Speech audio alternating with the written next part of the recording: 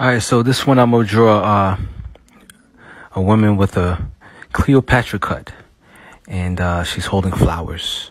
So right now I'm drawing the hand holding the flowers, and she's gonna be kind of holding it up to her nose, giving a little smell, you know, and having a little happy face. That's that's about it.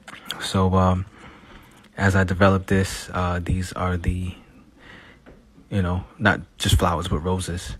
Let's be specific and let's give her a nose so she, so she could smell. She got to smell, right? So she got to smile because, you know, the smell is decent, you know.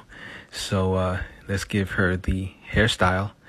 And this is the Cleopatra cut um, that uh, used to be popular. I mean, it's still kind of popular, but uh, you don't see it as much nowadays.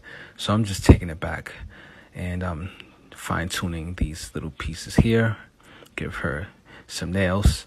And um, by the way, are finely manicured. And um, let's just give her this arm texture and the hair, darken this up.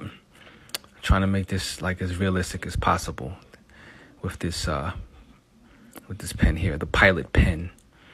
And this is how I kind of make that like, you know, that that shade or how can I call it? You know, it's just a shiny part in the hair. That's what I mean, kind of. You know, this takes time. So I'm just uh, messing around with this. And I did have a reference, but it had nothing to do with, I mean, it really didn't look like this one. And uh, I was like, let me draw this better. So this is me drawing it better, although I didn't show you the other version. Um, I think I'm going to color this too. So let's give it a border. I'm giving it a border, and it's going to be hearts. I'm just trying to switch it up, be different instead of the regular lines. So it's kind of like a frame. I'm just um, carefully applying these hearts here.